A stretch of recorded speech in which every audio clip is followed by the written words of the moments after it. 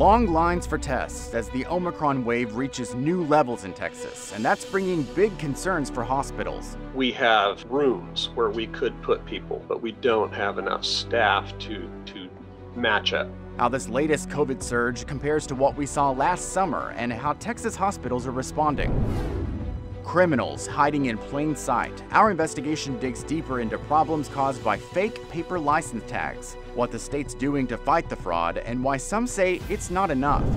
We're not here to force anybody. We're here to offer the community an alternative. Texas Republicans launched new efforts to win support from Hispanic and Latino voters, their plan, and how Democrats are responding.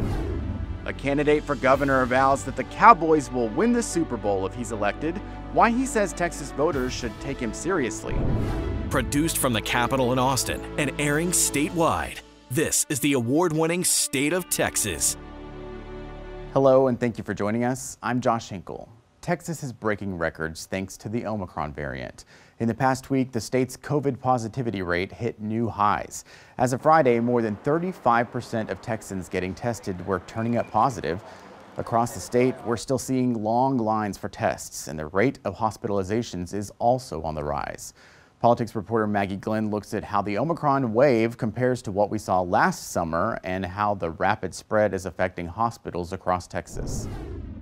As Omicron jumps from patient to patient, hospitals share the same need across the state. From Amarillo, we have rooms where we could put people, but we don't have enough staff to to match up. To Austin, the hospitals are experiencing staffing shortages. To Dallas, we've got vaccinated healthcare workers that unfortunately get the Omicron variant and then they have to isolate which further strains the existing workforce. Doctors worry the initial messaging that this variant is less severe has Texans letting their guards down. If we all get an illness, even if 90 something percent of us have a relatively minor experience of it, that few percentage of folks that are less fortunate and have a more severe illness that is enough to overwhelm the healthcare system. In a 10 day period starting December 23rd, COVID hospitalizations increased 99%. Over a 10 day period during the beginning of the Delta surge, COVID hospitalizations increased by 76%, a relatively similar rate. But during the Delta surge, it took about 26 days for our positivity rate to double. For Omicron, it took only 10 days. The data we're looking at suggests we're going to see more hospitalizations and greater staffing shortages than we have faced with prior situations. The solution, however, remains the same mask, vax, and boost. If there's a silver lining in it, it may be that because it's coming at us like a tidal wave that hits us, it will likely hit us in a short period of time. The next few weeks are going to be critical, and there's still time to impact that. Maggie Glenn for State of Texas. In the past week, seven of the state's 22 trauma service areas reported that more than 15% of patients in their hospitals have COVID. That percentage used to be a trigger for local counties to be able to roll back business capacity, but Governor Abbott took that power away from local governments in March of last year as vaccine availability increased. Governor Abbott and Attorney General Ken Paxton have been fighting federal efforts to make vaccines mandatory for some Texans. On Tuesday, Abbott and Paxton sued the federal government to block COVID-19 vaccine requirements for members of the Texas National Guard. It's one of five lawsuits filed by the state against the Biden administration over vaccine mandates.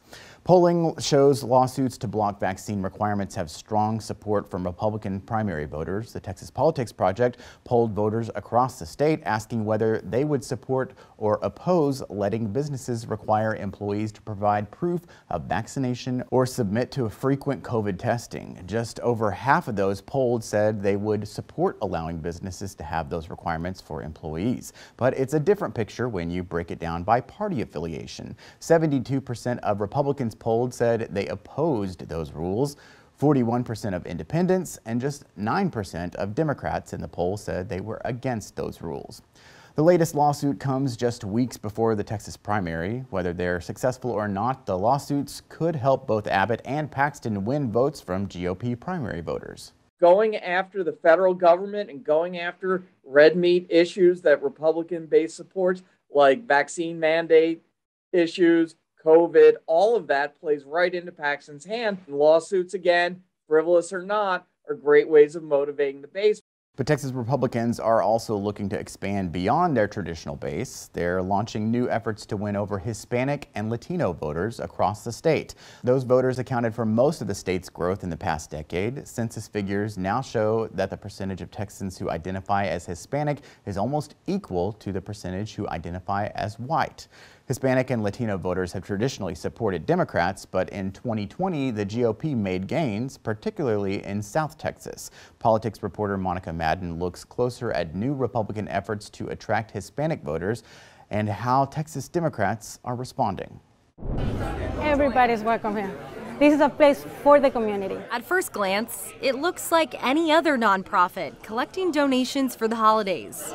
But with a closer look and listen, a conservative that wants to see conservatism survive. You'll see it's a center with political ties. The Republican Party, I think, is doing a, a better effort in trying to garner the, that support. The Republican National Committee has been investing in community centers throughout Texas, with three out of four locations in heavily Hispanic populations. But they're taking a different approach from traditional party strategy. We're not here to force anybody. We're here to offer the community an alternative. Natalia Godoy runs the San Antonio location, overseeing a hodgepodge of service and educational events. We have different workshops here. Uh, financial uh, education. We want to help you how to build your business, how to achieve the American dream. We want to help you understand your rights as Latinos. Through it all, of course, is an overarching outreach effort to recruit Hispanic and Latino voters, like Bob Gomez. My parents came to the United States, they were immigrants. We have a segment, which is the Hispanic population, has always been catered to by the Democratic Party. Um, but I don't think their traditional uh, values align with them. Still, Hispanic voters historically lean Democratic, according to the Pew Research Center. But the GOP is eyeing trends like those in Zapata County, a Hispanic dominated region that flipped red in 2020 for the first time in 100 years. That's not to say Democrats are conceding. We're also making sure that we're on the ground and in those communities, um, working with candidates and working with our county parties to ensure that people know that one, Democrats are still present and still care about those communities. The reality is that we are seeing this massive investment from the Republican Party in Texas. Why? Because they know that Latinos are an untapped gold mine. It'll be a battle between the parties that has more than politicos excited. The Latino vote in Texas is absolutely crucial. And what is happening now is that we're seeing both of the political parties start to make their bid to win over Latino voters. Monica Madden for State of Texas. Republican efforts in South Texas are going beyond trying to attract voters. Some groups are also recruiting candidates. Our partners at the Texas Tribune reported on the work by a super PAC called Project Red Texas. They work to recruit Republican candidates to run for county offices across South Texas. In many cases, Project Red paid the candidates filing fees. The Trib reports the super PAC helped get 125 Republican candidates on the ballot in 25 counties. It's an unusual campaign promise. One candidate for governor says if he's elected, the Cowboys will finally win a Super Bowl. When we have strong leaders, uh, it, it, it, will definitely reflect in our sports teams, and it's certainly going to reflect in the Cowboys. Why he says Texas voters should take his message seriously.